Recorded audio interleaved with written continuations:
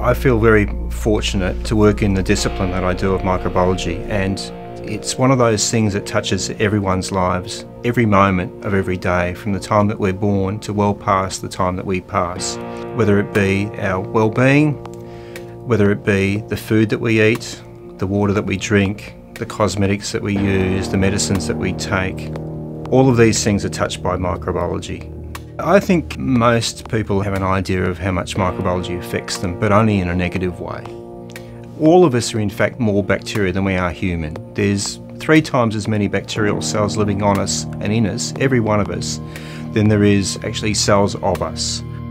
Going back 13 years ago, a committee that I'm now involved with, I wrote to the people in standards overseas. I said, Can we help you?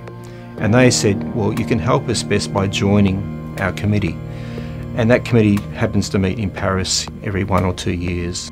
That came about simply by chance and just saying, Can I help you? I've been really lucky. You know, sometimes you make your own luck, but sometimes it happens because of circumstances. So I'm really fortunate.